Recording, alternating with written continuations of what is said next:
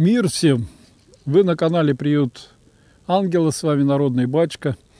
И я выскажусь для одной женщины, которая сегодня позвонила и рассказала, что у нее сложная ситуация. Я не буду уж очень подробно все рассказывать, чтобы не обозначить и ей как бы не навредить.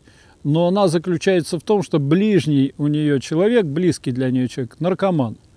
Таких, конечно, сейчас десятки тысяч, поскольку на самом деле перестали говорить о наркомании, а никуда она не делась. И также и распространяют, как мы видим последние кадры про наркоманию. Я каждый день сейчас по телевизору, видать, как-то усилили маленечко это.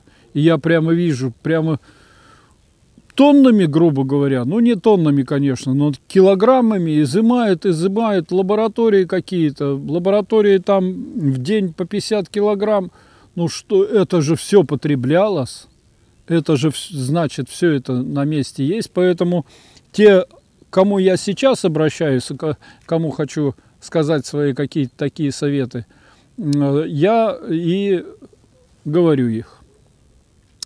И Первое, что я хочу вам сказать, что вы должны осознать, что наркоман, он не принадлежит себе. Не принадлежит. Он принадлежит наркотику. Это первое, что нужно запомнить. Потому что, как правило, начинают пытаться его вывести из этого состояния через управление собой, что ты вот давай-ка, а ты вот ты, ты чуть-чуть вот что-то а он не управляет самой, он не принадлежит. Если бы он принадлежал, вы бы его не считали наркоманом. Он не дошел бы до такой степени. Если вы определили, что он наркоман, значит, он уже не принадлежит себе. Это первое, что нужно понять. Второе, что нужно понять. Наркотик на 90% физиологическая проблема. Физиологическая.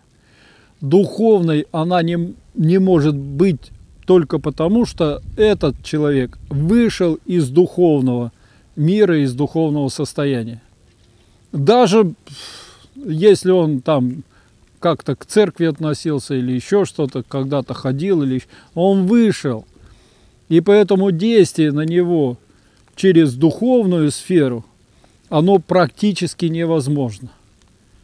А некоторые, особенно верующие, говорят, о, дед, за, зачем там лечение, сейчас мы поедем к старцу, поедем мы, значит, э, в церковь, э, там свечки поставим, свят, святой водички, значит, побрызгаем, все. Это все имеет надобность, но не первостепенная.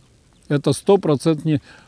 У нас по канону пьяницы полагается 5 лет отстранения от причастия, выведение его из состава верных в состав либо вообще неверных, либо оглашенных, и только через 5 лет после окончания алког... ал... Э, значит, э, винопития, сказано уж не алкоголизма, его опять допускают к общению, к причастию. То есть тогда считается, что на него Дух Святой начинает действовать, когда пройдет пять лет после винопития. Наркомания гораздо тоньше и тяжелее. Она, на мой взгляд, требует вот такого вот, вот серьезного отношения к ней минимум 10 лет. Минимум. Хотя я абсолютно уверен, что вот так вывести из первичного состояния в разумное состояние можно за полгода или за год. Но относиться к тому, что ты еще человек не духовный, и Бог тебя еще не держит за, за шкирку, нужно лет 10. Иначе можешь и сорваться, и, и, и, и, кстати, так это, в общем-то, и случается. Поэтому это физиологическое заболевание ну, еще точнее, это токсическое заболевание, то есть это отравление ядами. Вот в таком виде. Сейчас, когда идут синтетические наркотики, это точно просто яды, которые вот так выбивают мозги и так действует на, на состояние, которое все-таки отравление, а не просто наркоман. Он, он принимает. Это как будто вот он стаканчик вина выпил, и это наркоман. Третье, что нужно точно понять. Наркоман не может вытерпеть боли, которые предоставляет ему наркотик. Не может вытерпеть. Самостоятельно не может вытерпеть. Конечно, сейчас вот синтетические наркотики, я не совсем точно знаю, как они действуют, насколько они вот этот ожог внутри наркомана создают. Я, конечно, э, в то время слышал от профессоров, от специалистов, э, тех, кто этим занимался, вот составляющую именно даже вот проверенную на всех этих приборах и так далее. А что такое боль наркомана? И вот тогда мне уверяли они, что это боль э, ожога, как будто две трети тела обожжены. И прямо мне Виталий Александрович Семенов говорит, ну ведь не требует от того, у кого такой ожог, что ты потерпи, ты как-нибудь справься, да давай ты вот тихо, значит, посиди немножечко.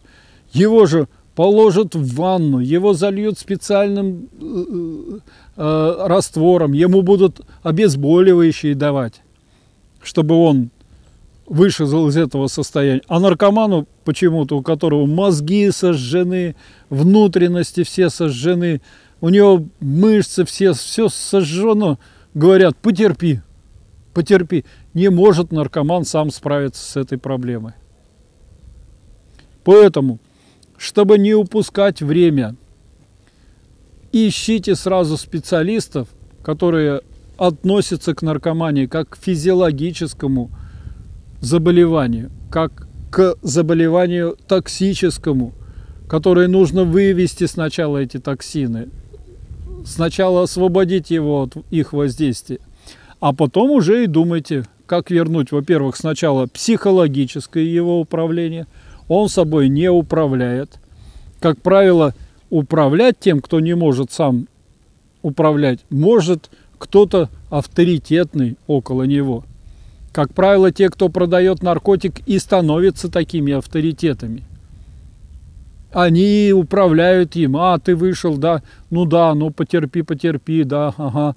И они никогда его не отпустят. Заработок тех, кто продает наркотики, заключается э, в том, что они имеют этого наркомана у себя как потребителя. Они никогда не способны вам помочь, тем более, что чаще всего до конкретного вот потребителя доходят именно такие же наркоманы. Он зарабатывает на нем для того, чтобы самому вот эту боль преодолеть. И поэтому, если вы пытаетесь включить в состав тех, кто вам помогает уйти от этой проблемы, а перед этим он продавал эти, то есть на совесть их давить там или еще что-то какое-то значит, а это абсолютно бесполезная тема. Абсолютно не ищите и если нашли того, кто продает, просто сдайте его в полицию, просто сдайте, не договаривайтесь, ничего. И все равно вашего не отпустят, пока они знают, что у него есть деньги, пока они знают, что у него что-то можно вытянуть. Если у вашего есть машина, квартира там или еще что-то, они будут тянуть все с него, пока им все это не перейдет. Только, только если они увидят, что с ним опасно общаться, поскольку его пасет полиция, вы и можете каким-то образом его обезопасить. Но лучше ему уехать в период трезвости и пропасть вообще из поля зрения. А там, куда приедет, никогда не вспоминать, что он был наркоман. Иначе они всех обсматривают, и если он вспомнит, что ну года два-три назад я применял, все, его опять поймают, потому что 10 лет это минимум для того, чтобы уж вот так совсем все твердо и хорошенько закрепилось. Ну и самым ближним – Перестаньте страдать.